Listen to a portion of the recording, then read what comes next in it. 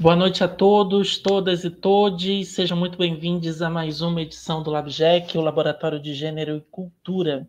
É um projeto do GFIS, Grupo de Estudos Feministas e Interseccionais, credenciado pela Universidade do Estado do Rio de Janeiro e certificado na base de dados do Diretório de Grupos de Pesquisa do CNPq.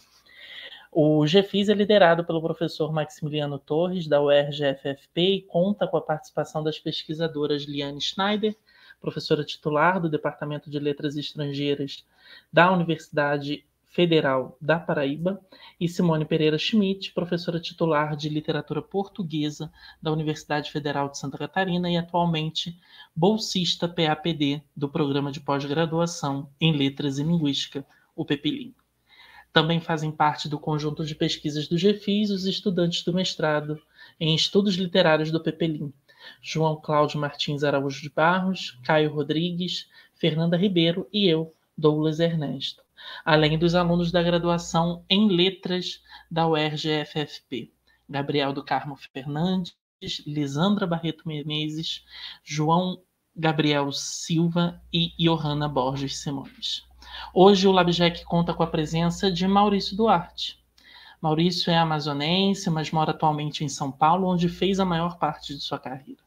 Sua marca pessoal de roupas existe há mais de quatro anos e traz como sua marca cortes disfórmicos e únicos, com traços de forma energética, uma costura e pintura man feitas manualmente e também acessórios, carregando com a sua visão excêntrica e investigativa. Isso foram palavras de um jornalista da sua terra. Seu trabalho é fruto de um choque entre a floresta, alusão às suas raízes indígenas, e o concreto de movimentadas metrópoles onde hoje ele habita.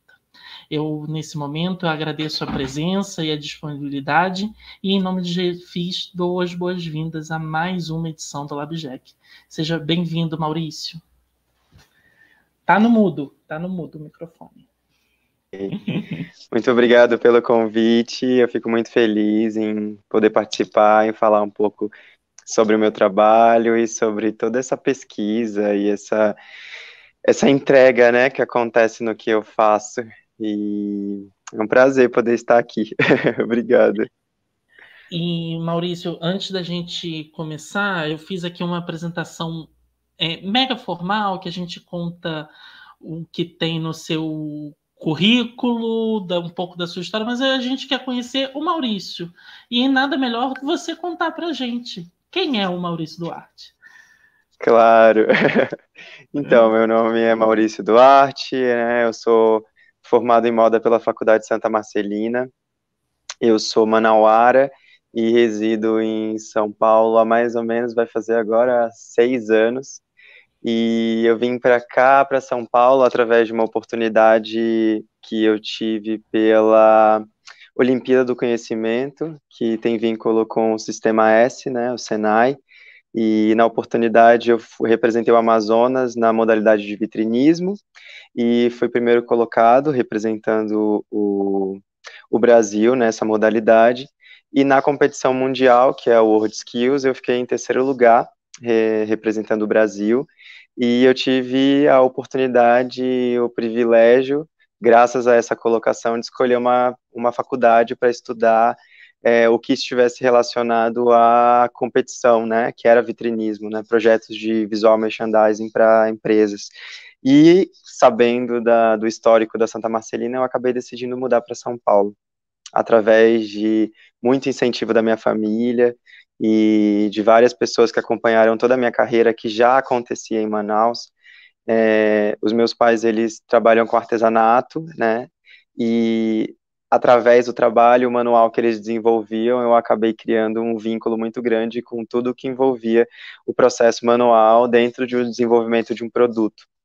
É, na época, inicialmente, eu ajudava minha mãe nas vendas dos artesanatos dela, nas feiras vinculadas com secretarias do trabalho e outros espaços que abriam para que é, as pessoas pudessem fomentar e, e, e, vender esses artesanatos na capital, em Manaus. E aí, depois disso, eu acabei é, tendo um contato muito grande com a arte no meu ensino médio, que eu estudei em escola de tempo integral. E eu acabei me apaixonando por todo esse universo artístico. Inicialmente fui aí para o lado do, da educação física, saí do ensino médio, fui direto para a Universidade Federal do Amazonas, mas eu não gostava do curso. Eu falo e falei algumas vezes para o meu professor de psicologia do esporte que ele que foi ocupado de eu ter saído da graduação de educação física, porque na época ele estava explicando e falando sobre os tipos de ego e ele falou sobre um dos egos que chamava, que era o pequeno professor, que ela seria aquela pessoa que sempre saberia tudo superficial e que nunca ia conseguir fazer uma evolução ou ter uma continuidade dentro de algum assunto. E aí nas aulas dele eu percebi que eu seria essa pessoa se eu continuasse na graduação de educação física. Então eu comecei a migrar para o bloco de arte, eu comecei a emprestar livros de artes, eu comecei a fazer cursos de oficinas, é, aulas, aulas, como eu posso falar, né? É, como ouvinte em aulas de serigrafia, estilogravura, com professores incríveis, né? Que eram mestres da UFAM. E acabei percebendo que aquele lugar não seria o que eu queria para minha vida, e não o núcleo de educação física. E aí foi quando eu já produzia as camisetas em Manaus, mas decidi ir atrás do sonho que era estudar moda. Aí consegui uma bolsa pela prefeitura, é, pela prefeitura de Manaus, é, com 50% da graduação, e aí comecei a estudar num fazer um tecnólogo em moda. E aí tudo isso me acabou me levando para o Senai para aprender sobre costura, e foi quando eu fui convidado para participar da competição. E aí tudo isso aconteceu. Eu fui para é, tive a oportunidade de morar em alguns estados do Brasil, estudar com alguns dos melhores professores da área de visual merchandising, vitrinismo, aqui no Brasil. É, recebi muito apoio e muito carinho dos lugares que passei, em Brasília, é, fiquei um tempo em Minas Gerais, e acho que das maiores experiências antes da, é, da graduação em moda aqui em São Paulo foi uma viagem que eu acabei fazendo para a Finlândia, representando o Brasil pela competição, e posteriormente eu acabei tendo a experiência de ir para a França, para a Itália e para a Alemanha para entender um pouco desse universo da moda fora do eixo Brasil, né? É, eu me realizo muito com o que eu faço, eu amo o meu trabalho, o meu trabalho eu acredito que ele é uma parte, eu costumo falar que é a parte mais bonita que eu consigo mostrar para as pessoas em relação ao que existe dentro de mim. É onde eu consigo trabalhar com as cores e trabalhar com as formas da maneira mais criativa possível e mais entregue, sem realmente pensar quem vai consumir esse produto. Porque eu entendo que o meu trabalho, é, eu, falo, eu falo produto, mas normalmente eu chamo que eu faço de peça. Porque se a pessoa comprar um vestido, ou se ela comprar uma camiseta, ela decidir cortar e emoldurar, é dela. Ela vai fazer o que ela quiser, o que ela sentir vontade de fazer com aquilo. Então, eu entendo que muitas das conexões que acontecem das pessoas com o meu trabalho é porque elas realmente entendem que o que acontece aqui dentro é muito mais do que só fazer mais uma roupa para estar ali presente no guarda-roupa. Eu acho que é mais ou menos isso. Uau! Começamos bem esse encontro de hoje. Então eu passo a palavra para o João Gabriel, que tem a próxima pergunta. Olá, Maurício, tudo bem? Boa tudo noite. bem. Boa noite a todos que estão nos assistindo, todas e todos. E queria fazer uma pergunta para você relacionado à, à, parte social, né, da parte de crítica social da arte, né? Porque a moda, Sim. assim como a música e, enfim, outras outras coisas, é um tipo de arte. Né? E a arte, em geral, né, em, em geral não, em alguns momentos, ela tem uma, uma vertente de crítica. Né? Por exemplo, Sim. a gente pode pegar o exemplo da música do rap, né, que faz às vezes uma crítica a um tipo de governo, ou rock, que às vezes faz uma sátira a alguma religião, ou até algum tipo de governo. Então, eu queria saber, na sua opinião, se também tem como, através da moda, fazer alguma crítica social, e se sua resposta, sua resposta for sim, né? Aí uma outra pergunta, é, também. É, se, peraí, deixa eu voltar. Se tem como fazer uma crítica, e se tiver como fazer uma crítica, quais as maneiras, né, através da moda, que a gente poderia fazer uma crítica social? Sim, eu acredito que sim. Eu considero meu trabalho político, mesmo que é, de primeira imagem ele não mostre é, não levante uma bandeira específica, mas só o fato de eu fazer parte da comunidade de LGBTQIA+, e estar desenvolvendo um trabalho totalmente de, vamos falar assim, não, não vou falar de resistência, mas entendendo o meu, o meu local de fala dentro do meu trabalho, né, entendendo também a questão é, que eu costumo falar, só do meu processo ser artístico, ele já é político, porque nós que trabalhamos e entendemos a arte, nós sabemos quantas interrupções estão acontecendo, a gente está tendo que passar por cima para realmente mostrar que o, o, o, processo manual, trabalhar com arte, ou a mudança na vida de alguém que a arte pode promover. É, eu costumo falar para as pessoas que a arte, ela me salvou, a arte me cura e a arte me transforma. Porque o que, é que acontece? Se eu não tivesse tido contato com a arte no meu ensino médio, que eu vim de escola pública, se eu não tivesse entendido o significado da arte na minha vida, eu não teria alcançado as coisas que eu alcancei na minha vida, não teria beneficiado pessoas que, graças a Deus, puderam já se beneficiar com o meu trabalho, sejam em processos internos, sejam em processos externos, mas que de alguma maneira se conectaram com o meu trabalho.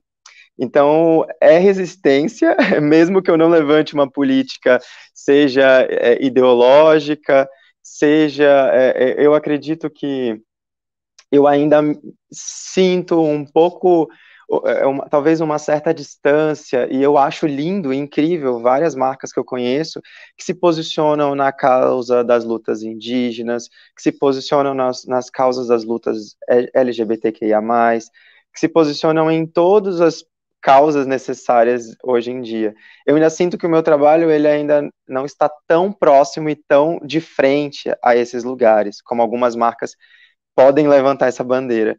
Mas eu acho que só o fato de entender o cunho social que o meu trabalho se encontra, seja na transformação do meu, da, da pessoa final que vai ser tocada com o meu trabalho, seja em ressignificar tecidos, quando eu decido comprar os meus tecidos de lojas que vendem ponta de estoque de grandes empresas, a gente vai para um lado total de sustentabilidade, mesmo que eu não grite essa bandeira no site, mas eu sei que por trás tem toda uma consciência, é, um pensamento de entender a que ponto artístico e político o meu trabalho se conecta. Eu não sei se eu respondi a tua pergunta. Respondeu sim. Muito obrigado.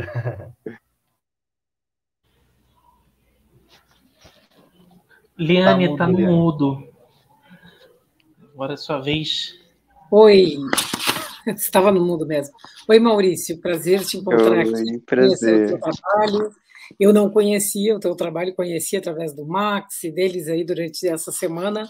A gente andou vendo mais, eu não conhecia antes. Gostei muito, gosto muito. Não entendo nada de costura, nada de moda, mas gosto muito de arte, de pintura, então me interessou por esse viés. E eu fiquei agora ouvindo você falar mais ainda, porque você é novinho, tem uma aparência jovem, é uhum. novo mesmo, mas você fala de uma forma muito firme já profissionalmente, muito estabelecida e muito madura, né? Mas eu fiquei curiosa em relação ao início. Será que foi a mim? Acho que a gente teve um problema com a conexão da Liane, então a gente. É? Oi, Pronto, voltou. Agora sim, Liane, ah. você pode recomeçar a pergunta? Eu fiquei pensando que essa maturidade que você tem hoje, né, em relação a tudo que você faz, de onde você faz, como você compra, o que você pretende, é, talvez lá no início não tinha eu fiquei me perguntando se você teve muito receio, se essa palavra apareceu na sua vida lá no começo, porque é uma contracorrente a tudo que é feito padronizado, a tudo que é feito em grandes volumes, pra, pra inclusive para manutenção da própria pessoa, né? Eu fiquei pensando no Sim. início se você pesou isso ou não. O chamado foi tão mais forte da arte que você não pesou essas consequências. Sim. Queria saber esse começo. É, na verdade, eu acho que eu nunca pesei essa consequência. Eu acho que até hoje eu nunca pesei a consequência dessas escolhas. Assim, eu acredito que esse pensamento, né, no momento onde eu ainda não conhecia sobre upcycling ou sobre ressignificação de matéria-prima, mas recentemente eu fiz uma live com é, a equipe da Fundação Hermann Hering, né, da, da, da Hering, e nós uhum. falamos justamente sobre esse começo, porque quando eu comecei a desenvolver as, é, as pinturas em camisetas, foi através de uma aula de artes do ensino médio. É, e nós tínhamos que desenvolver um produto, e, e eu acabei, acho que eu, eu, me falha um pouco, mas eu acredito que todo mundo desenvolveu em camisetas. E aí eu desenvolvi, alguns amigos gostaram, naquela época, isso era em 2012. Naquela época era Orkut ainda, e aí eu tinha alguns amigos da escola, nós estudávamos em tempo integral, então a gente convivia muito. E aí eu comecei a fazer para os amigos, decidi fazer uma página no Orkut e comecei a postar isso no Orkut foi quando eu comecei aí no centro da cidade, encontrei uma loja que vendia camisetas da Hering ponta de estoque. Então era, eram peças que eu comprava na época, isso em 2012, já tipo cinco reais, que tinham algum defeito, alguma coisa. A minha tia, irmã muito próxima da minha mãe, tia Neide, ela é costureira. Então ali já meio que já tinha uma prática, porque minha avó também costurava, a minha mãe tinha máquina de costura em casa, e eu comecei a comprar essas camisetas, minha mãe me ajudava a fazer alguns reparos, e antes das pinturas, um amigo recente me lembrou, que até isso eu tinha esquecido, que antes não eram, eu não fazia em pintura. Eu pegava, tirava um molde dos, de, dos desenhos, recortava esses desenhos em tecido e fazia como se fosse um, se fosse um patchwork. Só que a minha mãe uhum. costurava, depois que eu alinhavava tudo, na máquina de costura reta. Então, uhum. meio que já existia ali um processo de união dentro de um desenvolvimento que era meu, era pessoal, mas tinham outras mãos fazendo parte. Lembrando que a minha mãe tinha um trabalho dela à parte. Então, as primeiras feiras, eu fui para ajudar ela a vender e depois eu já estava com o meu stand do lado dela. Eu estava fazendo matéria de TV junto com a minha mãe, tipo o mais novo da feira. E eu hoje essa pergunta que você me fez sobre se eu já tinha pensado nessas coisas ou se em algum momento é, isso foi, sei lá, algum tipo de preocupação ou impedimento? Eu falo que não, mas eu confesso que por muitas vezes eu acabei me deixando é, ser movido pelo medo. Então, em vários momentos que eu poderia ter dado algum passo maior, seja de arriscar em alguma coisa, eu acabei ficando um pouco comedido, porque eu acabei tendo que criar, por escolha própria, eu acabei tendo que criar uma responsabilidade muito cedo. Então eu, eu saí de casa para a uhum. competição em 2014. E aí disso eu já comecei a assumir uma responsabilidade, nós tínhamos toda uma logística que precisava ser cumprida dentro da competição, porque tinha um investimento muito grande para cada competidor. Então, em certos momentos, eu, como um bom pisciano que sou, entrei em alguns conflitos pessoais internos, assim, internos muito grandes, de, tipo, será que eu sou capaz? Será que eu continuo? Quero desistir? Então, eu acho que existiram vários momentos em que eu me questionei sobre o que eu estava fazendo, seja o valor que o meu trabalho estava tendo, seja o reconhecimento que eu achava que não estava tendo pelas pessoas. Mas eu acho que São Paulo foi um lugar que me fez entender que as pessoas não estão preocupadas é, com você no sentido se está dando errado. Elas estão preocupadas se você está se movimentando. Elas querem te incentivar a se movimentar. Seja às vezes negativo ou positivo esse incentivo, mas ele vem para o um movimento. E chegando aqui em São Paulo, eu lembrei muito, eu resgatei muito essa, esse meu início de trabalho em Manaus. Então, quando eu cheguei em São Paulo, a primeira coisa que eu procurei, eu morava próximo à Paulista, e aí eu ia andar na Paulista, conheci a Lúcia, que ela fazia tricô, e vendia os gorros de tricô na Paulista, em frente o, o Itaú esquina com a Fricaneca. E eu comecei a conversar com ela e eu falei que eu queria aprender a fazer tricô. E queria saber com ela como que fazia para vender as coisas lá na Paulista, porque eu queria começar a mostrar o meu trabalho lá. E nessa época eu tinha vindo de Manaus e eu tinha umas camisetas da Ering na minha bolsa, que ainda estavam para pintar, enfim, porque eu ainda não estava costurando, porque era início da faculdade, ainda não tinha aprendido a costurar. E aí eu fiz as camisetas, pintei as camisetas e comecei a ir vender na Paulista. E aí acabei, acabaram surgindo outras conexões, eu comecei a fazer uns acessórios, uns brincos com retalhos de couro de uma marca que, que confeccionava bolsas, cintos, né? E ela uhum. começou a me doar esses materiais. Então eu fui, procurei a secretaria que regulamenta a venda na Avenida Paulista, né, como artesão, e comecei a vender na Paulista é, para minha surpresa, aconteceu o que já tinha acontecido muitas vezes antes na minha vida. Uma receptividade muito maior do que uma repulsa, sabe, do que eu fazia. E, e, e, as pessoas se encantavam também pelo fato de saber que eu tinha vindo de Manaus, por toda essa questão, é, todo, todo esse contexto étnico, racial e, e, e até mesmo essa regional, né? Porque a gente sabe que ainda existem alguns preconceitos entre norte, as, as regiões norte e nordeste. E, e isso para mim foi um abraço muito grande, porque eu entendi que mesmo estando numa das melhores faculdades do São Paulo e a mais uma das mais elitizadas talvez, o fato de eu estar na rua vendendo meu trabalho como artesão e como artista não, da, não desqualificava o que eu estava fazendo como profissão. Né? O que aconteceu algumas vezes, as pessoas falaram, nossa, você está você estudando na Santa Marcelina e você está vendendo na rua? É, tipo, é uma escolha, para mim é, é, faz parte do meu processo, né, faz parte do que eu quero como artista, é, da devolutiva das pessoas para o que eu faço.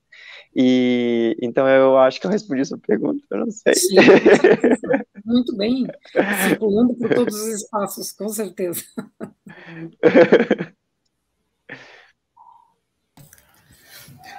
Então, eu acho que é minha vez agora, né? Então, vamos lá. Boa noite, Maurício.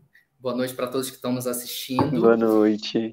Eu queria falar um pouco do seu processo criativo, né? Porque você há pouco falou que as suas peças podem ser transformadas em quadros, né? E como o Douglas, citou na, na apresentação e também está no seu site, uma frase que chamou muita atenção, me chamou muita atenção, foi que seu trabalho é fruto do choque entre as florestas, alusão às raízes indígenas e o concreto de movimentadas metrópoles. Como que esse processo criativo, né, para unificar esses dois, esses dois polos, né, a floresta, a metrópole, e, e, fazer essa criação em uma roupa também sem gênero, que pode virar arte. Como é esse processo criativo? Como você pensa isso? Sim, é, obrigada pela pergunta. É, citar esse texto é muito, é muito interessante, porque ele nasceu de um momento muito especial, assim, de, de conexão com a natureza, e realmente num lugar, assim, de muito equilíbrio, e com uma troca, existindo uma troca de palavras, de conversa, de ideias, porque eu acredito que o meu trabalho ele é muito isso. Ele pode, ele pode ser bastante introspectivo, porque eu quem faço as pinturas, o corte, grande parte das vezes eu tenho ajuda na parte da costura, e agora eu estou tendo uma ajuda também na, no, no, site e nas redes sociais. Mas esse, esse texto ele nasceu é, dessa inquietude de falar sobre como ter vindo para São Paulo mexeu comigo, mexeu com o meu entendimento de vida, é, de tranquilidade de vida, é, mexeu com o meu entendimento também de responsabilidade, é, responsabilidade pessoal, responsabilidade afetiva, responsabilidade do que eu estava colocando no mundo a partir daquele momento. E esse texto ele nasceu para que ele pudesse ir nas tags que acompanham as roupas. E essas tags, ela, os papéis dessas tags, eu precisava mostrar para a empresa que, que estava me doando esses retalhos, essas sobras de papéis, a finalidade do uso, né? Do, do uso desses papéis. Eu precisava mostrar que ele ia servir para alguma coisa que não ia ser descarte. Então a gente precisou fazer esse texto. E quando eu falo do choque, é, eu falo da alusão das, das minhas raízes indígenas, eu é, percebo que durante o meu período inteiro da faculdade, eu estudei muito sobre os grafismos indígenas, eu estudei sobre os significados das simbologias, eu, tanto que a minha primeira coleção da, da, da, minha, da minha aula de estilismo, eu nomeei de Muraquitã, que o Muraquitã é um sapo, é um amuleto, ele é, é, é representação de um sapinho, e ele é considerado um amuleto da sorte que as índias davam para os índios é, quando eles iam caçar para que eles estivessem protegidos. E tem várias histórias, tem todo um contexto para o desenvolvimento desse amuleto. Então eu entendia que a primeira, o primeiro trabalho que eu estava colocando no mundo, dentro do meu processo de graduação, ele precisava carregar essa força inicial, ancestral, e indígena das minhas raízes, mesmo que naquele momento eu não me identificasse como uma pessoa indígena. Mesmo que naquele momento, com toda essa estrutura colonizadora que foi presente em Manaus, né, como todo mundo sabe quando vai estudar sobre a história do Amazonas, Manaus era considerada a Paris dos trópicos, né? Justamente por conta de toda essa imagem é, europeia que se pretendia passar e que se foi passada no período áureo da borracha, com toda a exploração que aconteceu naquele lugar. Então, a gente não sabe das nossas raízes. Eu não sabia do porquê que eu estava estudando e procurando saber mais sobre o significado da minha ancestralidade.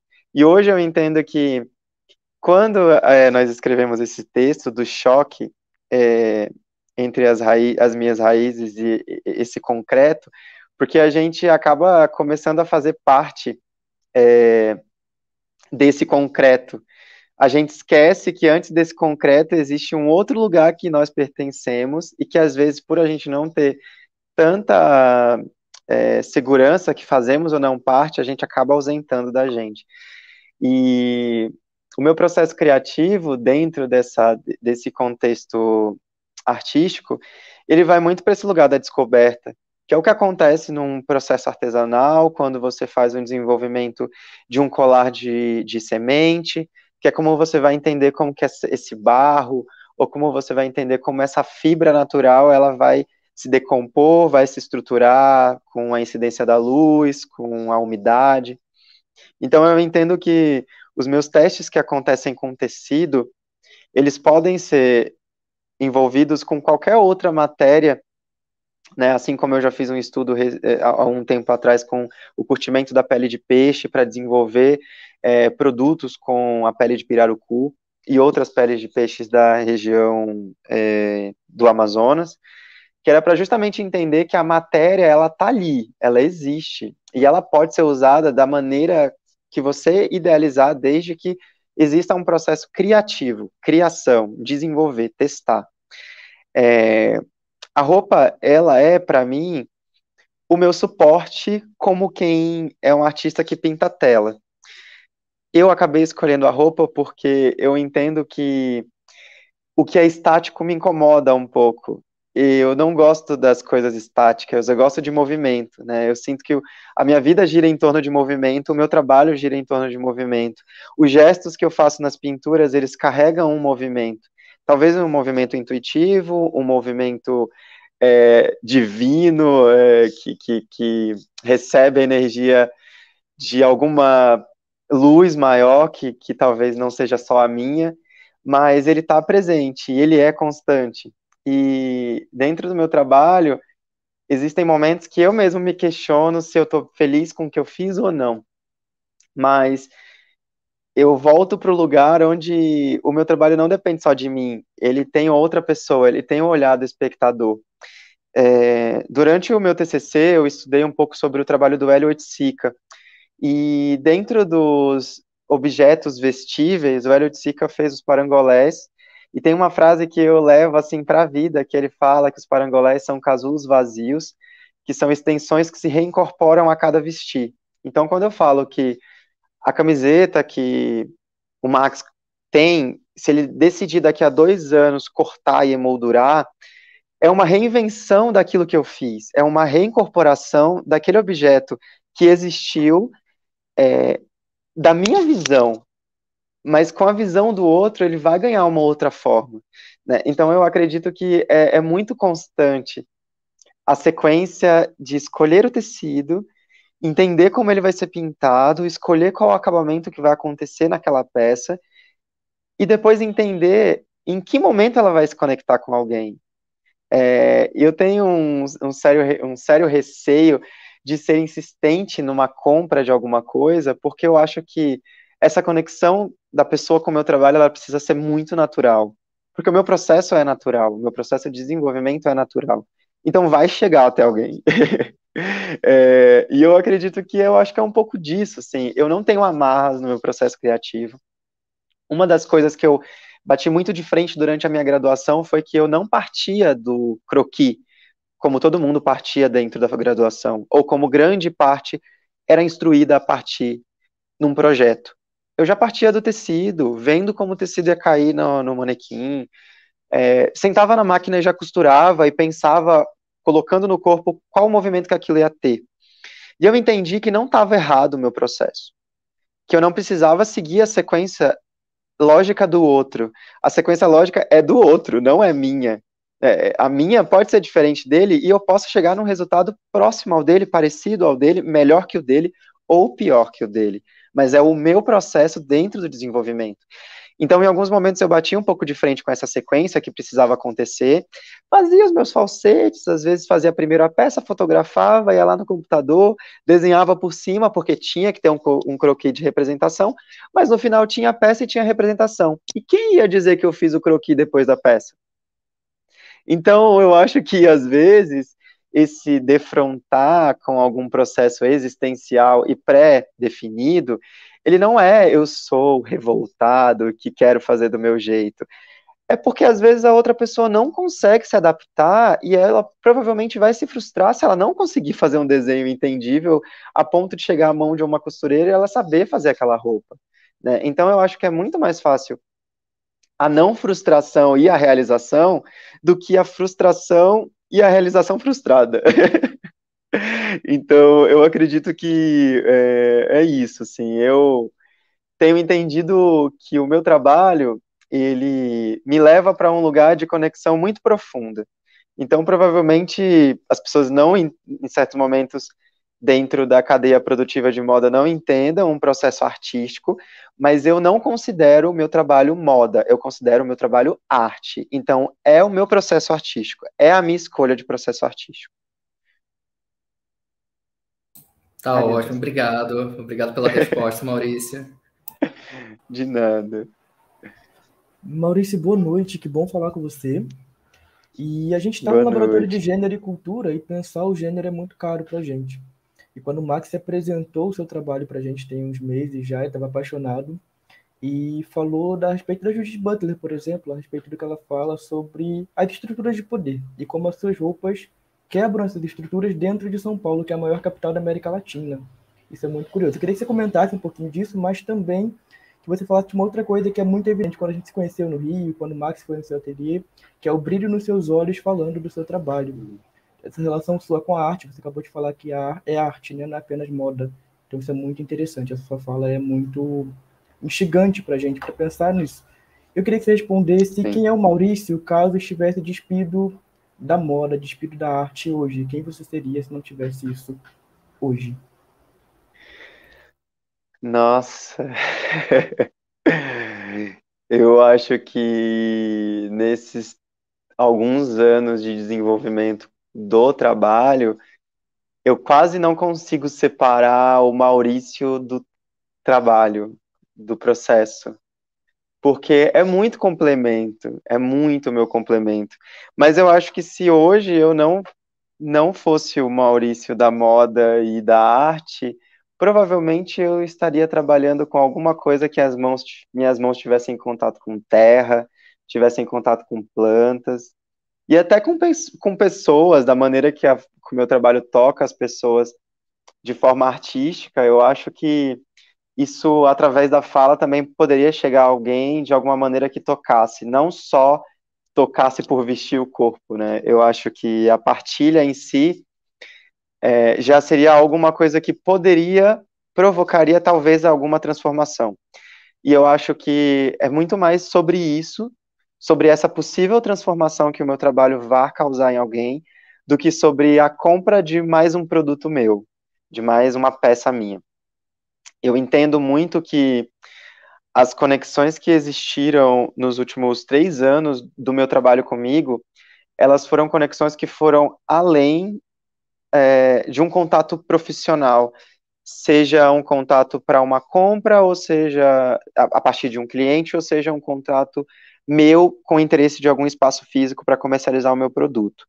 Mas é, contatos além disso, de entender a profissão de quem está se identificando com o meu trabalho. Então, nesse meio tempo de marca em São Paulo, eu pude entender que o meu trabalho se conecta facilmente com pessoas da psicologia, é, da psiquiatria, da arte, da arquitetura, é, das das é, disciplinas de línguas, é, eu acho que eu estou muito mais ligado com, com a ciência e com a biologia do que com as humanas, do que com as exatas, desculpa, com as, com as humanas do que com as exatas. E isso me trouxe um público que já chega até mim com um olhar diferente para o meu trabalho. É, eles já chegam com um olhar de entender que há um processo criativo e que há um. Eu não vou, eu não vou falar uma compra de um status, mas a compra de uma identidade, você está consumindo uma identidade. Quando as pessoas me mandam, às vezes, algumas mensagens e falam, ah, eu saí, fui para um evento usando Maurício Duarte, eu penso assim, meu Deus, que egocêntrico. a pessoa está usando o meu jeito de se vestir, a pessoa está se identificando com o meu jeito de se vestir. Mas não é mais meu jeito de, de, de se vestir, é jeito dela. É, é dela, faz parte dela. A escolha dela não foi influenciada por mim. Ela chegou até mim porque provavelmente nós temos identificações, nós temos é, alguma sinergia ali que nos conecta. Mas ela está usando uma peça minha, que agora é dela. Aí a pessoa fala, ah, eu tô usando uma peça, uma, uma peça sua. E aí eu falo, é, mas agora é sua. Então tem um pouco dessa, dessa sinergia que me faz pensar que o campo artístico dentro do meu processo criativo ele é muito mais amplo do que eu imagino. Quando eu comento com as pessoas que eu não consigo criar se eu não tô, não tô bem, seja por alguma interrupção, seja por alguma coisa que eu ainda estou tendo uma dificuldade de lidar, eu entendo que eu preciso fazer uma força maior para entender que o meu trabalho também, a arte ou a prática do que eu executo bem, ela também é uma coisa favorável para que essa mudança de humor no momento ruim também venha. Então, em alguns momentos eu já me, me, me coloquei para praticar, seja pintura ou seja um corte, não estando muito bem, e entendi que isso automaticamente altera a minha percepção do que é estar bem. Né? O que é estar bem para você? O, o, que, que é estar bem para mim? Então, é, quando eu também passo a entender que essa conexão que acontece com o outro, ela inicialmente parte de mim, porque existia um trabalho ali, um pensamento positivo, toda uma energia emanada naquela pintura, na escolha de cor, porque eu não faço de olhos fechados. Eu penso qual a cor que eu quero combinar. Eu amo laranja, eu amo amarelo. São cores de luz, são cores de sol, são cores quentes que trazem energia. E essas cores, elas são praticamente duas cores que fazem muito, sempre fazem muito presente dentro do meu trabalho. Porque eu entendo que esse sol que, a, que brilha aqui dentro do meu espaço, ou como você falou, que brilha nos meus olhos quando eu falo, eu não vejo. Então, eu só sinto que está saindo alguma coisa muito além da minha fala. E, e, e isso me aquece muito de maneira acolhedora, porque é, como eu falei, eu não consigo me desassociar mais disso que eu faço.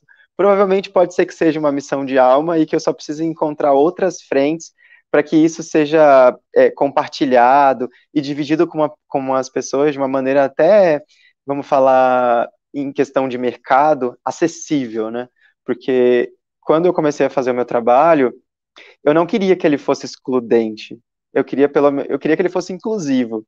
Eu queria que uma pessoa X que quer ter uma peça, ela possa ter essa peça, porque o bonito para mim não é ver a arara cheia de roupas esperando alguém, é que uma identificação aconteça e que essa arara nem exista cheia ou que, que nem tenha um, um, uma interrupção até chegar alguém esse produto, né?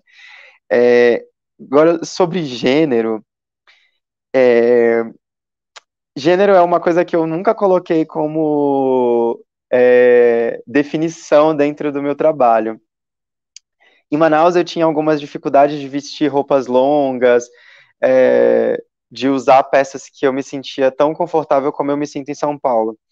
Então São Paulo me abriu a cabeça para entender que ninguém tá ligando o que você tá usando.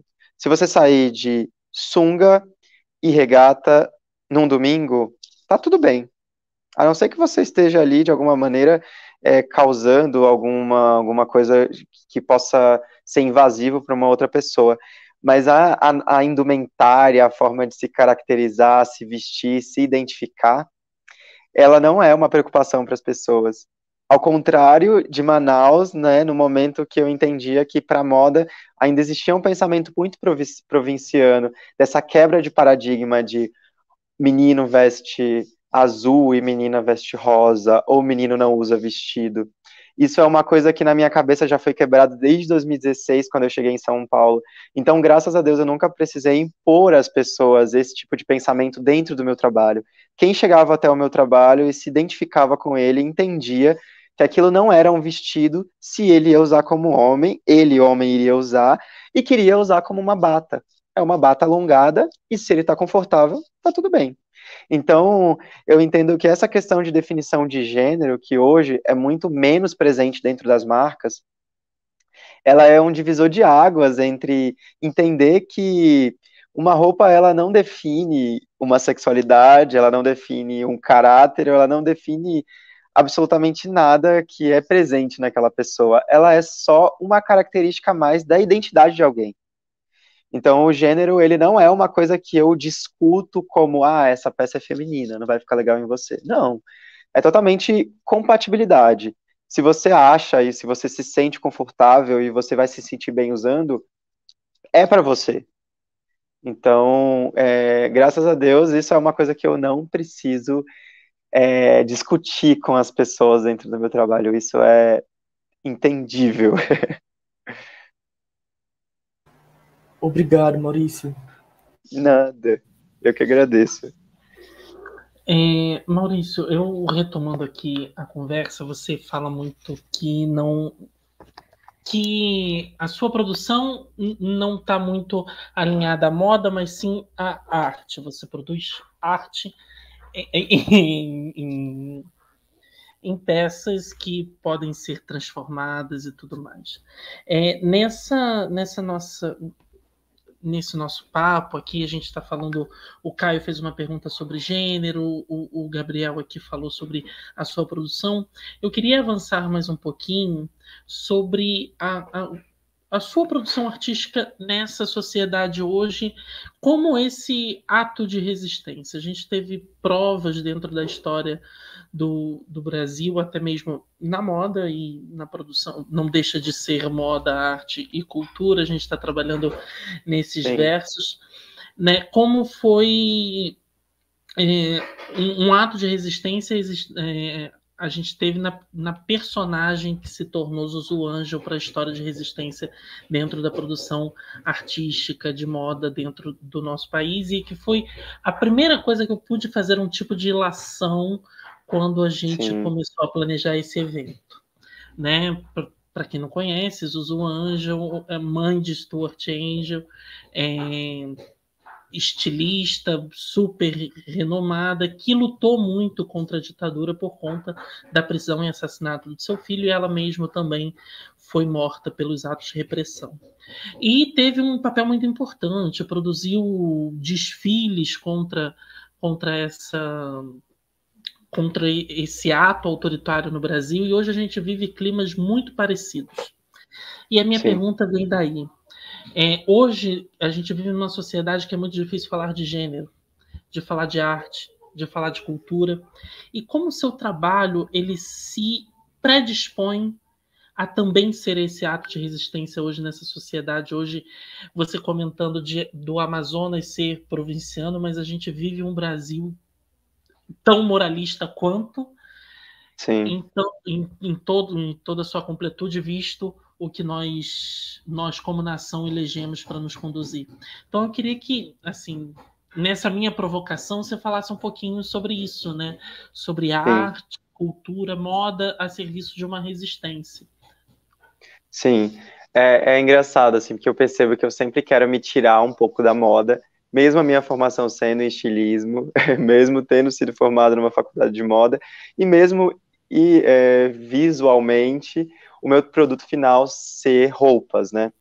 Mas é porque eu acredito que essa cadeia, quando a gente fala de moda, eu acho que a gente fala de sofrimento, na grande parte das vezes, porque a gente vem de uma cultura onde é muito mais fácil pagar barato num produto, mas não entender como que isso está sendo produzido, não entender tudo o que tem é, pensado em volta desse produto. Então, às vezes, a gente está vestindo roupas sujas de sangue, de mãos totalmente exploradas e a gente nem sabe. Né? Isso eu falo quando se fala de grandes empresas, né, que a gente sabe vários históricos, porque as informações estão aí, e se a gente der um Google, a gente vai encontrar é, diversas informações muito tristes desse contexto da moda, seja ela no Brasil, seja ela em qualquer outro país, né? E é muito interessante a comparação e a, e a provocação que você faz em relação a, Zuzu, porque nós temos diversos outros nomes também, né, que, que foram muito importantes nesse movimento, inclusive político, né, de, de, de entender a moda como um ato político, porque assim como a arte é um ato político, a moda também é um ato político. E, mas eu, eu acho que quando eu vejo meu trabalho, é, eu fico com muito receio de me colocar é, de alguma maneira neste posicionamento político por achar que não tenho tanta propriedade para discutir sobre esse assunto através de um desfile, o que seja, né? Recentemente, eu retomei os meus estudos de 2016, é, 17 e 18, que eram sobre as minhas raízes, sobre as minhas origens, que por muito tempo reneguei por não acreditar que fazia parte de um lugar indígena. É, e hoje eu percebo e, e, vejo outras marcas se posicionando politicamente, falando sobre as PLs, se posicionando a ponto de apoiar todo esse movimento é, que tem acontecido de tristeza e negação, né, de negacionismo que a gente tem vivido. E eu falo, cara, é, de que maneira eu posso pensar que o meu trabalho ele vai carregar esse ato político, mesmo que ele não seja tão é, de cara entregue ali, estou levantando essa bandeira. De que forma? Então eu entendi ultimamente que é voltar a essa busca ancestral, voltar a essa busca das minhas origens.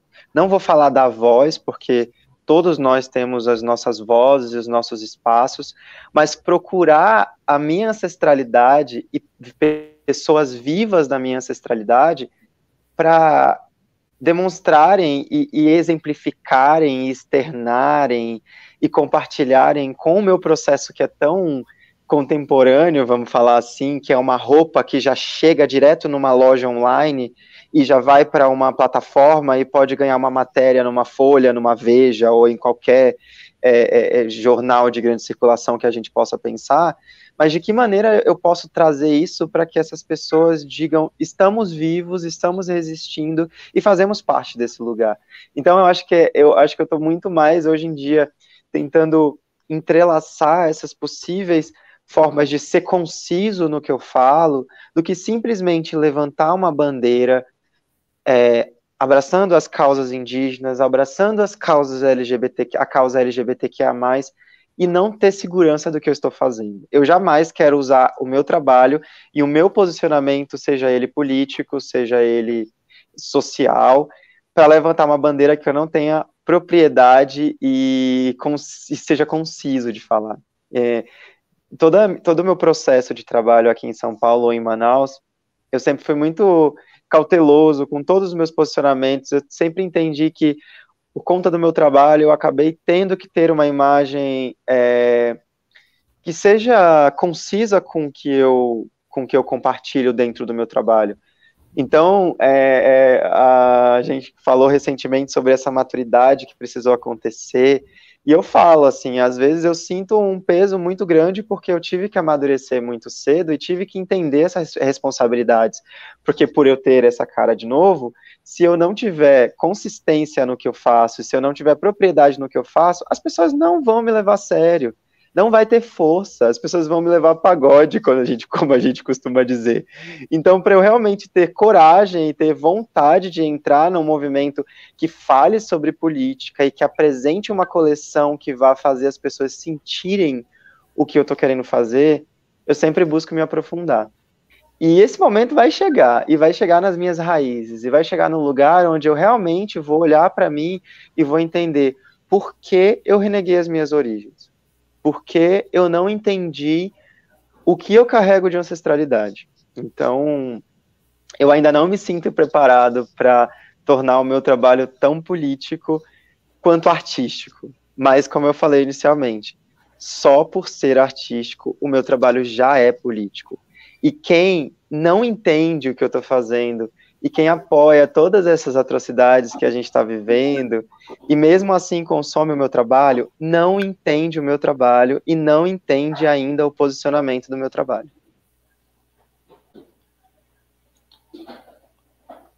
Uau, depois dessa só tenho que repassar a palavra para o Max, porque eu estou sem palavras. Boa noite, Maurício. Boa noite a todas, noite. todos e todos que estão aqui nos vendo. É, eu quero agradecer primeiro, né, o seu aceite tão tão efusivo, né, hum. e tão tão carinhoso. Quer dizer, depois a gente até foi criando uma, uma relação que se, acabou se tornando uma amizade, mas naquele momento Sim. lá atrás né? Quando a minha amiga Anne, que está aqui nos assistindo, no, me mostrou a sua página no Instagram e eu resolvi começar a, a seguir você e querer as suas peças, que aliás eu estou até usando uma delas, é. né? uma das tantas que eu agora tenho. Né? É, eu fiz o convite e você rapidamente aceitou, mesmo nem sabendo direito do que se tratava, se a gente era um grupo de, de né, loucos, pervertidos, que não sabemos o que dizer da vida. Mas, então, eu quero dizer que eu estou muito feliz desse dia ter chegado, né? E a gente está aqui batendo esse papo. E dizer o seguinte: é, Maurício, você falou sobre uma série de coisas, inclusive eu adorei a história da, da, da ideia que você me deu de moldurar depois as peças, né? Eu vou ter que, que montar uma levantar uma parede para poder, porque não tem mais parede para botar quadros, mas eu vou levantar uma parede só para botar essas peças que são sim, né? As peças Maurício Duarte. Eu também é, é, posto as fotos dizendo que eu estou é, é, é, vestindo Maurício Duarte, meio metonimicamente, mas é porque ela vem assinada por você. Né? Eu acho que nesse momento é uma peça que passa para mim que ela vai ter o meu movimento, ela vai ter toda a minha personalidade, mas ela não deixa de ter esse traço de criação. Né? A gente tem quadros assinados, a gente tem joias assinadas, a gente tem uma série de coisas assinadas. A gente é ótimo, né? Da Tegossolite. é, então, a roupa está assinada, então ela vai ser sempre uma roupa Maurício Duarte, porque você é uma marca. Né? E essa marca, Sim. ela tem que ser reconhecida. Então, não se sinta egocêntrico, né? apesar de é, o mundo da moda ser tão egocêntrico quanto é o mundo da academia, mas o mundo dos humanos é quase sempre egocêntrico. Né? E aí. Hum, eu acho que travou. É, não, não tem achismo hum. aqui não. O Max está travado e que eu vou. Quando ele retomar, a gente é, retoma. Eu vou chamar aqui a Liane e o Gabriel, e a gente vai é, se, dar sequência aqui a, a, nossa, ao nosso evento, tratando de outros assuntos. Liane. Sim, é, Maurício, é, mesmo que você tenha dito assim que você ainda está nessa elaboração da sua identidade indígena, né? os ancestrais e tal e tal, é, eu pergunto: você já teve algum retorno? Você já teve algum retorno de, de pessoas da sua região que tenham essa ancestralidade clara, que tenham visto e que gostem ou tenham se reconhecido ou não? Essa, essa volta ao lugar lá de origem ainda não aconteceu bem? Já, já começou. É, recentemente eu encontrei na Bienal uma artista ah, ela é performer e, e ela faz um trabalho incrível de representação da natureza. Ela se caracteriza de natureza. E nós tivemos um encontro muito forte, muito forte, e várias vezes nós conversamos é, via Instagram, por áudios, por mensagens, antes inclusive de nos conhecermos, sobre essa não identificação por conta desse apagamento histórico que aconteceu dentro da nossa identidade, né? E, uhum. e mesmo os meus pais, mesmo a minha família, assim, é, hoje, não hoje, mas nos últimos anos, houve essa, esse pensamento mesmo de, de entendimento, de pertencimento. E esse encontro que nós tivemos foi muito forte porque é, a gente começa a perceber e se entender num lugar onde o pardo nunca vai ser definição para a gente. Uhum. Sempre vai ser uma nomenclatura de, de, de, de, de distanciamento de uma identidade nossa, seja com as nossas conexões que intuitivamente a gente vai fazendo com o movimento com, com plantio, seja de planta, seja do, do cuidado com as águas, né? Do cuidado e do, é, é, como é que eu posso falar assim, da, da permissão para esse contato com a natureza, dos, dos, dos, ancestrais, dos orixás, de toda essa força do universo que a gente sabe que cuida desses nossos lugares que, é, é, é que fazem parte da nossa vida, né?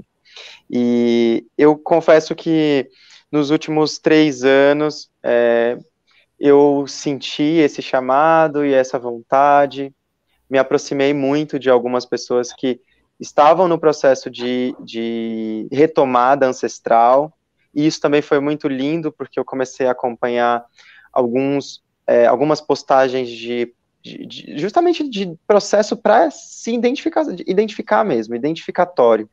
E, e por muitos momentos eu me questionei assim, ué, mas indígena, se se eu tenho, se a minha pele é muito mais clara, se não sei o que, não sei o que lá. Uhum.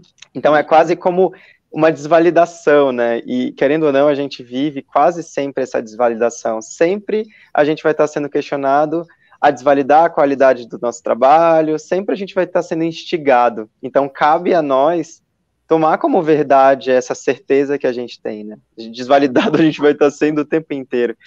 Então, eu acho que o fato de eu ter saído e ter visto de fora também o meu lugar de origem, o lugar que eu cresci, o lugar que eu vivi, que faz parte de mim, isso me fez entender que estar distante não me ausenta do que eu sou e do que faz parte de mim. Outro dia eu passei próximo à Paulista e tem um, um grafite mais próximo ali à Praça Roosevelt, que é uma, uma figura de um indígena e tem embaixo um texto que fala sobre os igarapés, fala sobre alguma coisa sobre o último igarapé que secou. E lendo o texto da que estava no grafite, eu lembrei do cheiro da mandioca apodrecendo dentro da água para ser retirada para virar farinha.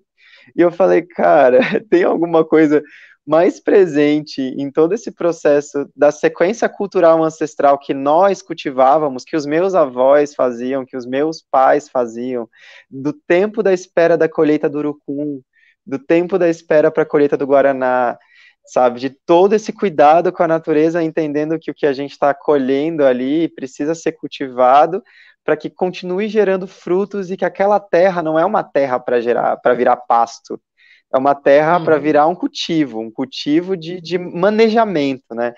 Então, eu acho que a gente, grande parte das vezes, vai precisar sair da nossa caixinha para entender qual caixinha a gente faz parte. Uhum. e nada mais importante do que se, se questionar. Se questionar. Excelente. Eu fiz essa pergunta só um, uma partezinha, porque eu trabalhei bastante com literaturas indígenas de língua inglesa dos Estados Unidos. Ah. E a ah. autora que eu mais trabalhei, ela é indígena, ela tem sete romances publicados, mas ela tem uma parte alemã também. E aí ela diz que muito tempo ela era cobrada. Ponto, tem esse sobrenome alemão, mas tu é indígena. Ela diz toda a minha identificação é indígena e brotou, é a que predominou tudo que ela lembra, como você falou dos cheiros, do avô, os que ficaram foram os indígenas, e o grupo também reconhece ela como tal, né? Então, por isso que eu perguntei esse lugar, né? Que você vai, tudo que você fizer vai ter alguma, um traço disso, né? por mais Sim. inconsciente que seja. Certo, obrigado, viu? É, eu, eu percebo também que eu, dentro do, mesmo no processo do abstrato, eu faço muitas linhas e acho que essas linhas também elas entram como uma identificação do que até eu mesmo não antes da minha identificação eu comecei a fazer linhas linhas que para mim representavam movimentos de pintura pinturas uhum. permanentes, né? Mas linhas que fazem parte do meu traço. E recentemente uma cliente me questionou porque em algumas das linhas eu faço um gesto de movimento que vira tipo um M, são três voltas. E ela falou: Ué, você sempre coloca M de Maurício nas suas roupas? Eu falei assim: Não, não é, é, é intuitivo o gesto, né? Mas eu acho que essa, uhum. essa questão da linha, essa questão das conexões, mesmo que a linha não entre como um grafismo, é, uhum. é, como é que eu posso falar assim, fidedigno a uma representação de uma pintura indígena, ele é uma linha de um traço das minhas buscas ancestrais, das minhas buscas sobre os grafismos, das minhas pesquisas sobre os significados das pinturas corporais. Obrigado. Uhum. Nada.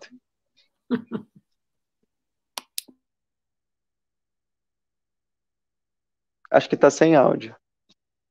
Tô, tô totalmente mudo. Agora voltou. É, a gente superou a cota de tá no mudo desse, desse, desse evento. É.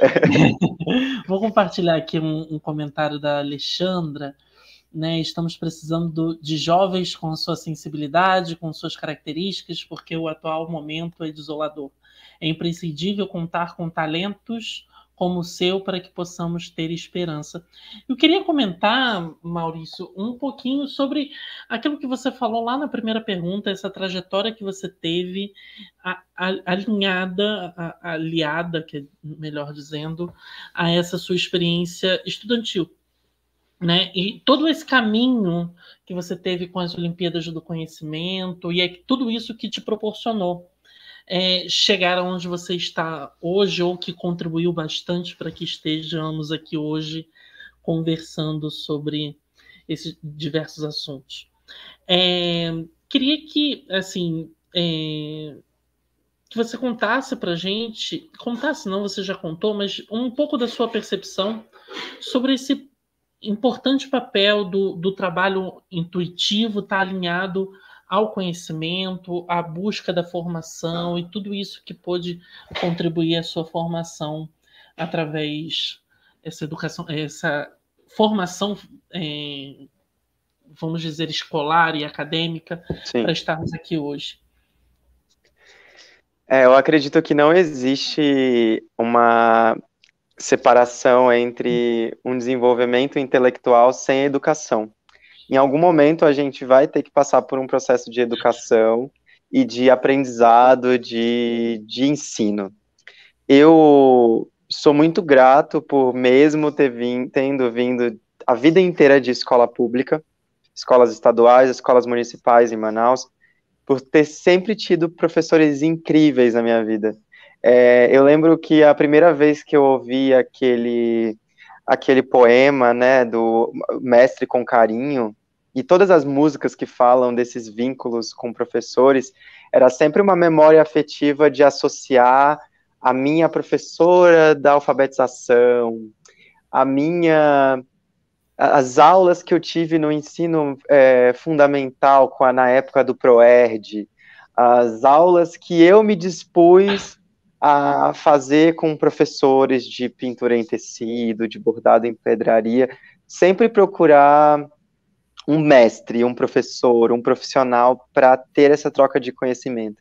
Porque eu entendo que sem o conhecimento a gente não é nada. E esse conhecimento precisa vir de um ancião, precisa vir de um. De, né, a gente estava falando agora de, dessa ancestralidade, e essa ancestralidade nada mais é do que ensinar com que você não. com que você faça com que não se perca aquela vivência que fez parte daquela vida com que foi criado ali, contextualizado, né? Então, se a gente for resgatar toda essa, talvez até a etimologia da palavra é, ensinar, educar, provavelmente vai estar vinculada com todo esse processo é, é, de, de passagem, né, de uma pessoa para outra, de um mais velho para uma pessoa mais nova. E eu sou muito grato por todas as oportunidades de educação que surgiram na minha vida. É claro que muita coisa não, não surgiu assim de mão beijada, a competição não surgiu de mão beijada, a bolsa de 50% da faculdade também não foi. A gente precisa ter esse interesse de ir atrás.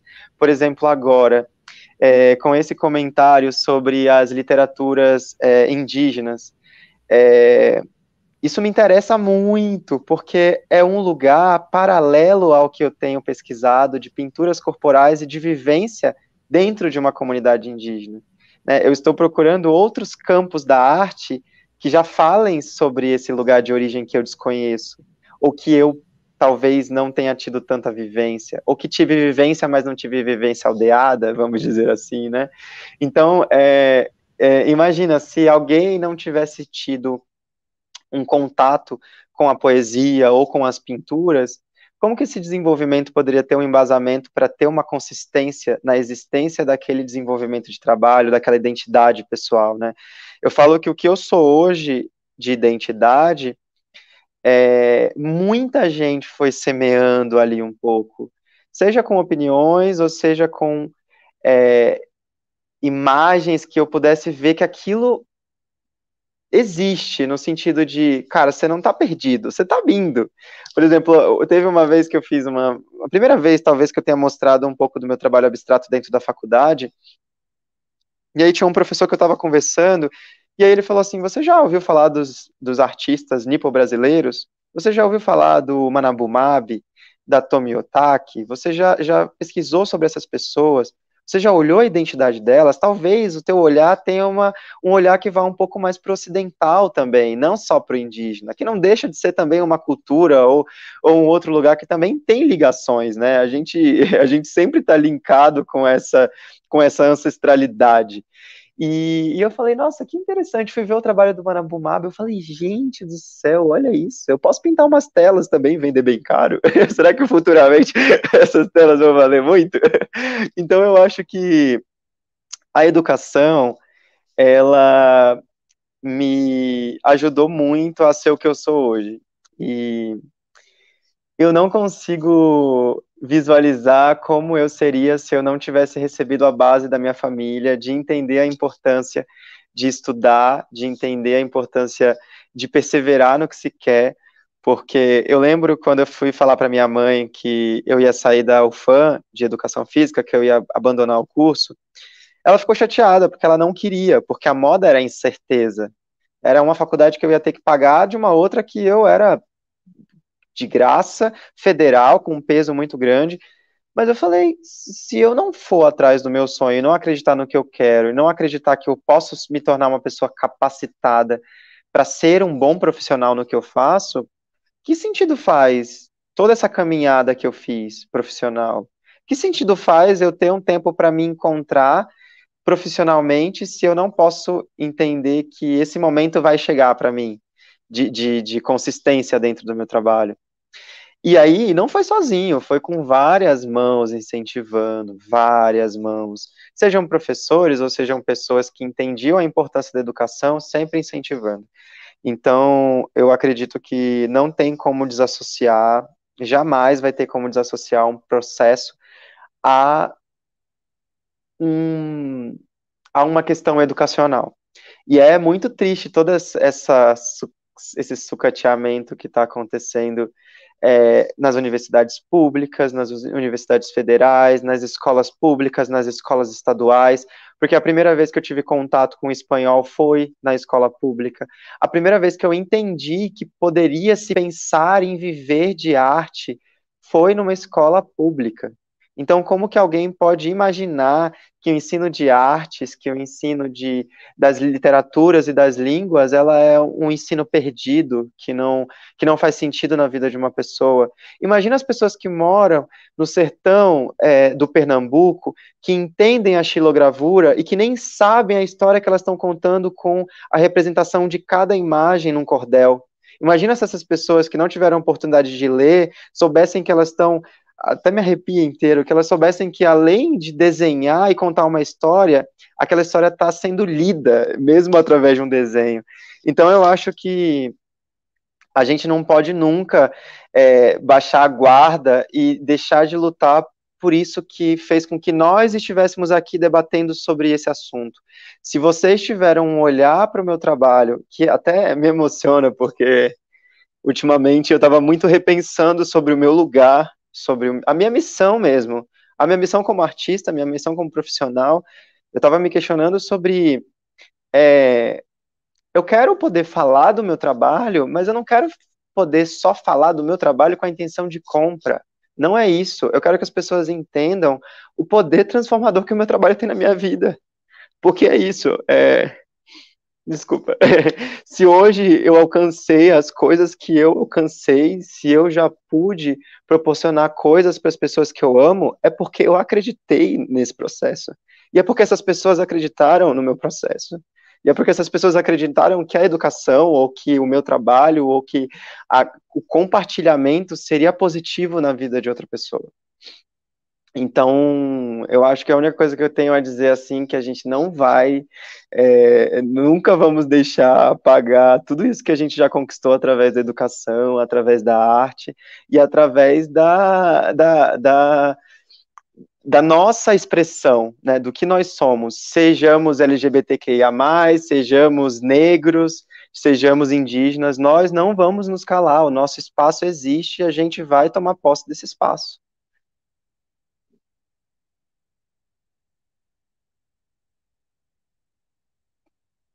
Ah, meu Deus. Olha, eu acho que a luz daqui de casa, ela é, ela é contra tudo né? Ela é contra a, a, a, arte, contra a educação, contra tudo. Nunca falta luz. Eu moro aqui há três anos, não falta luz nunca. Hoje a luz resolveu piscar. É, e é aquela piscada rápida só para destruir a internet.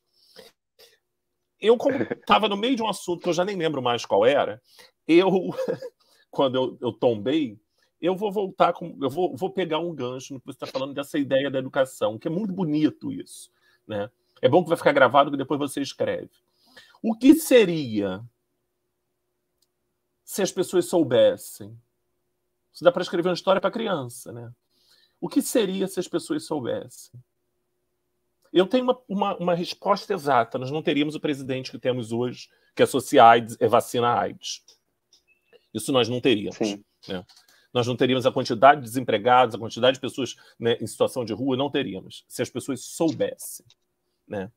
É, na semana passada, quando eu estava em São Paulo, o meu amigo que me hospedou disse que ele conheceu uma escola no sertão de Pernambuco em que as crianças estudam em cima de, um, de sacos de lixo, porque não tem onde sentar. Mas elas estão ali. Né? E no currículo delas tem poesia. Eu não quero romantizar o saco de lixo, né? que eu acho isso o cúmulo do absurdo, mas a gente não pode desistir. Não há como desistir. Né? Então, nesse sentido, o, o Maurício, até mesmo para que você possa, que a gente possa te liberar, né? porque a gente está aqui conversando há bastante tempo, é, eu só vou voltar numa questão que para mim é importante, que você falou, e eu queria que você desse uma retomada, que é a questão do processo. Né?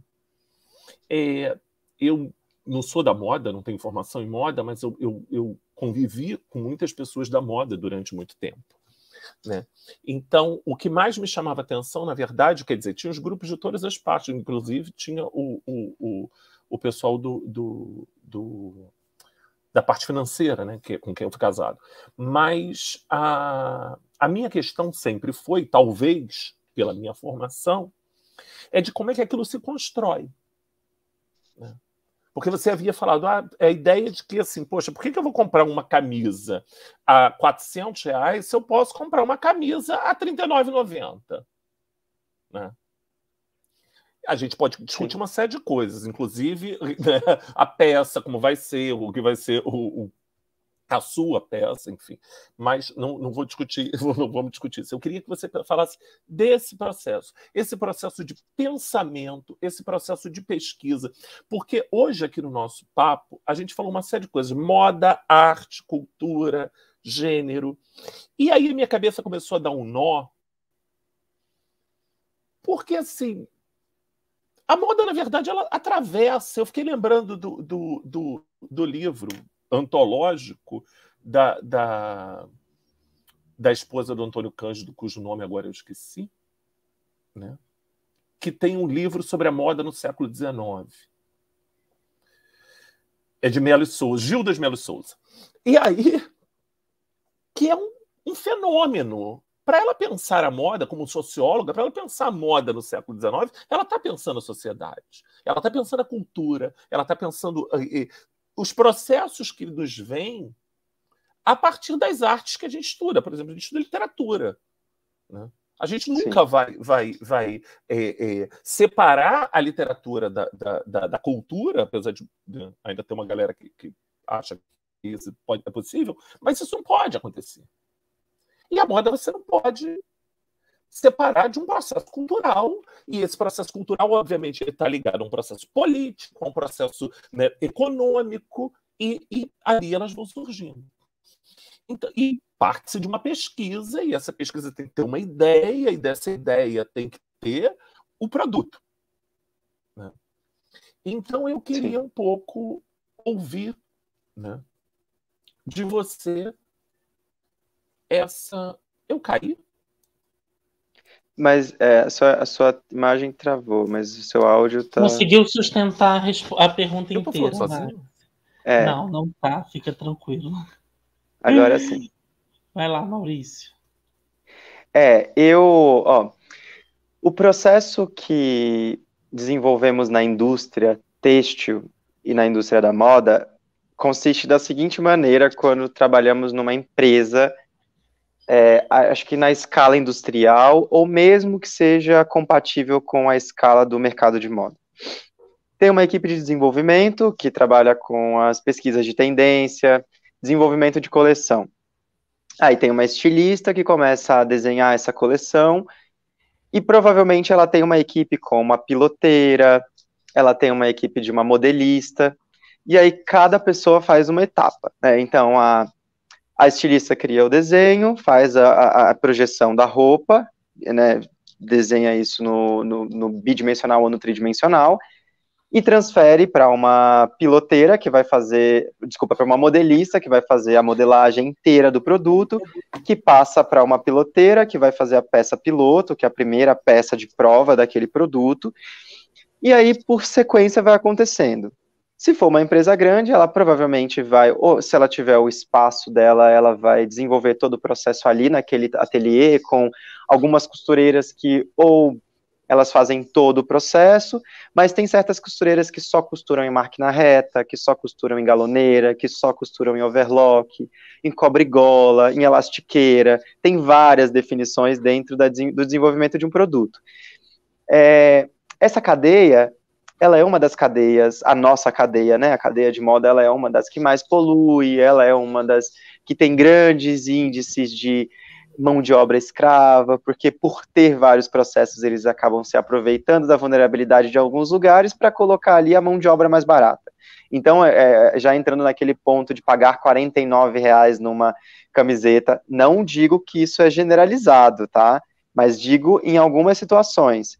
Se paga muito barato, porque se produz muito, com não tanta qualidade, na grande parte das vezes, e com mão de obra que nem sabe o valor que esse produto vai final, final vai ter, porque ganha centavos. E pasme, ainda hoje, nos di, ainda nos dias de hoje, existem pessoas que ganham centavos para costurar certos produtos. Sendo que com 100 reais a gente já não consegue mais nem sair de um supermercado com alguma coisa. então, é, partindo dessa logística inteira de processo dentro de uma marca grande, a gente já tem essa coleção pronta, essa coleção vai para uma loja, aí vai ter um espaço físico com vendedores, com uma pessoa específica para fazer toda a imagem visual, seja de vitrine, seja de merchandising da divisão dos produtos dentro dessa loja. Então ela é uma cadeia que dentro de uma marca grande ela engloba muita coisa. E isso é uma cadeia imposta, mas não necessariamente a minha marca precise seguir essa cadeia imposta eu não preciso terceirizar a minha mão de obra de costura para fazer com que a minha peça vá para um cortador, depois de um cortador, vá para uma facção para ser costurada. Se a minha produção não é em grande escala, se eu não trabalho com grandes demandas, eu posso ter sob o meu controle todo esse processo existindo dentro do meu espaço físico, que é o que eu, da maneira como eu construí o meu trabalho. Dentro do meu processo, eu não faço modelagem plana, eu não trabalho com a modelagem bidimensional. Eu já parto do corte para o tecido.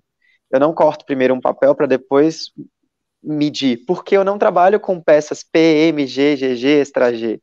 Eu trabalho com peças únicas. Então hoje eu já sei quanto tem uma cava, eu já sei quanto tem que ter uma gola, eu já sei quanto tem que ter um ombro. Então indifere, eu, eu posso fazer uma peça, essa peça que eu estou usando, por exemplo, ela serve em mim, que sou um PM, mas serve num MG, que também pode servir num G indo para um extra G. Porque é uma peça solta, porque eu trabalho com modelagem ampla, um dos meus pensamentos dentro do meu processo também vem muito com a questão do conforto. Por ter vindo de Manaus, eu sempre pensava muito em qual tecido eu ia comprar. Tinha que ser algodão, tinha que ter viscose, tinha que ter pouco menos poliéster, porque o poliéster é quente, transpira, é calor. Então, esses pensamentos, eles fazem parte de uma vivência, né, de uma, de uma propriedade de estar naquele local, e também de entender que eu sofria sendo P e PP, eu sofria para encontrar é, camisetas masculinas como eu gostava. Então eu tinha que ir na sessão infantil. Então a gente se esbarra em várias coisas que a indústria impõe que não contempla. Você imagina uma, uma tabela que uma pessoa veste G, aí você chega numa loja e você é um G, mas o G não cabe em você, é, é, é, é, totalmente frustrante dentro de um mercado você entender que o consumo ele está ali para te impulsionar para emagrecer, ele está ali para te impulsionar para caber naquele, naquela caixinha. Então, dentro do meu trabalho, eu parti desse lugar de totalmente quebrar, quebrar esses parâmetros impostos, seja de gênero, seja de tamanho de peça, seja de é, usar, ó, por exemplo, tem uma peça que ela, deixa eu ver mais próxima aqui de mim, que eu simplesmente uso é, final de tecido. Então, essa costura presente nessa peça aqui, ela não é uma costura que eu fiz, isso é final de rolo, que as pessoas descartam, que a indústria têxtil não utiliza, porque não fica bonito, despadroniza se você faz uma produção de 30 peças e você chega lá com uma peça como essa eu uso os códigos dos rolos de tecido nas minhas peças. Porque isso compõe a minha estampa, isso é uma identidade do, te do tecido. A partir do momento que eu, querendo ressignificar essa matéria, eu descaracterizo a existência de uma informação daquele tecido, que sentido eu, eu, tô, eu tô usando da matéria a meu favor? Eu não tô. Então, é, as minhas escolhas por pessoais para o meu processo criativo, elas partiram desse lugar. Detesto a indústria, não vou ser indústria, não quero vender atacado, a minha produção é pequena, eu quero conhecer a costureira que trabalha comigo, eu quero pagar o valor justo para ela, eu quero conhecer o meu fornecedor de tecido, e eu quero, eu quero que essas pessoas, o meu consumidor final, saiba que essa minha cadeia por pequena que ela seja, contemplando, sei lá, duas costureiras, uma pessoa de mídia, a fornecedora de tecido, quem me vende as embalagens, é, a empresa que me doa os papéis para fazer as minhas tags, por menor que seja esse movimento que eu faço dentro da minha cadeia de moda, eu quero que essas pessoas saibam que é conciso, o, o, o que é circular, que é uma economia circular, que é um ganho igual para todos. Quando às vezes as pessoas questionam o valor final do produto do meu trabalho, elas estão questionando, as que questionam, elas questionam porque elas não conhecem o que acontece aqui dentro. Porque elas não, isso, porque talvez isso ainda não esteja tão claro no Instagram, não esteja tão claro num site, onde atualmente eu precisei me adequar por conta da pandemia. Mas o meu consumo, a minha venda começou presencial. Então a pessoa chegava comigo na Paulista e eu falava: olha, isso, isso, isso, é assim, isso, isso isso. É feito uma por uma, então é isso.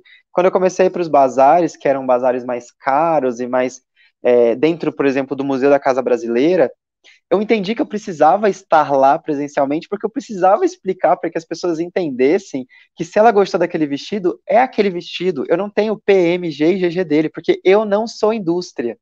Eu sou uma marca autoral que desenvolve um processo artístico. E não é a minha intenção pintar 12 blusas dessa iguais a essas. Eu posso fazer 12 dessas, escolher as mudanças de tecido que eu quiser, trocar a gola, trocar as costas vai continuar tendo a minha identidade e vai continuar sendo única, porque cada uma foi pensada para ou reaproveitar um pedaço de tecido, ou para receber uma pintura específica.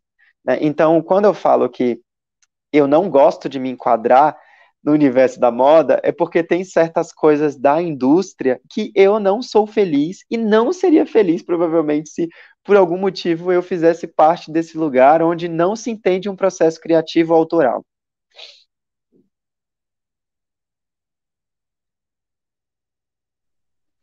Tá correto.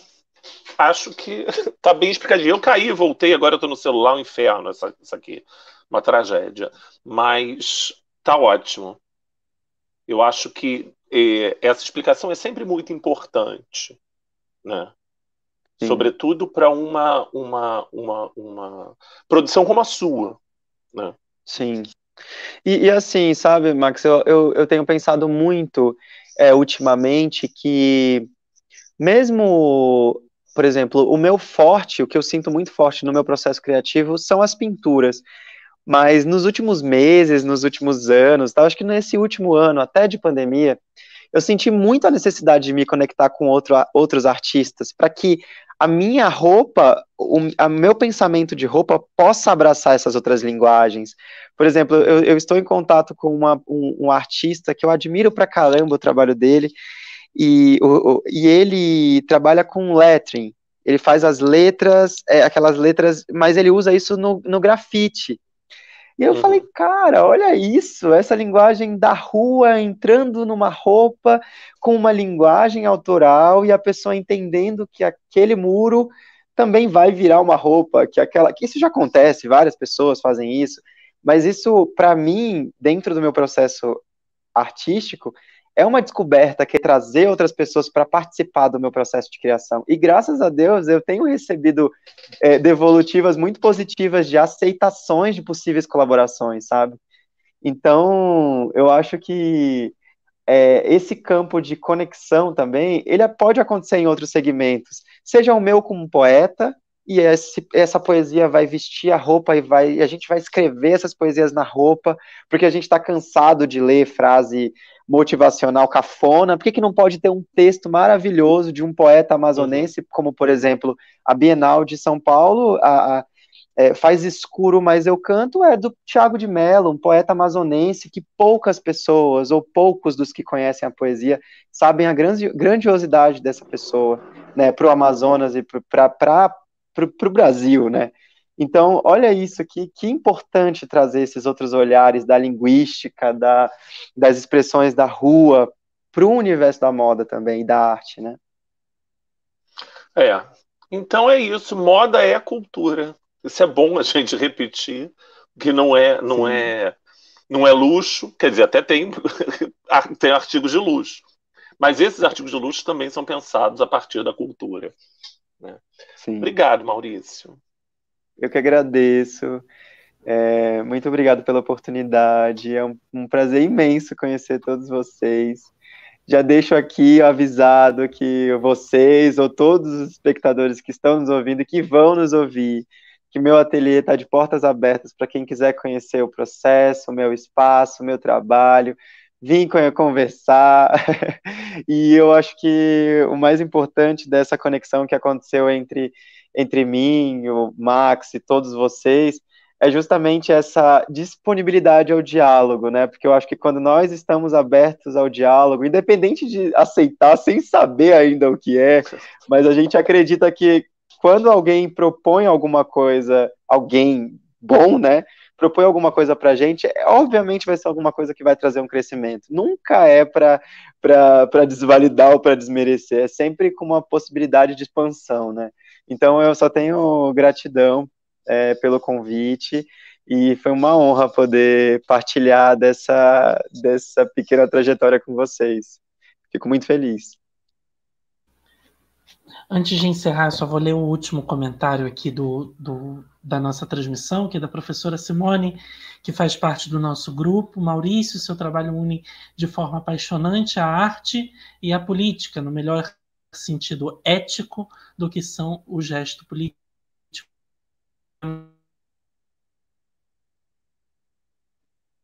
Manifestação artística. A gente Lindo. agradece demais a sua presença, a sua participação. E queremos também agradecer todos que nos acompanharam durante essa noite, lembrando que no próximo mês temos evento internacional aqui no GFIS. Então você não fiquem aguardando as novidades na nossa página no Instagram e aqui também no canal, já para sintonizar. Então, curta esse vídeo, ative o sininho para receber notificações dos próximos eventos. Tenham todos uma excelente noite e até a próxima. Tchau, tchau. Tchau, tchau.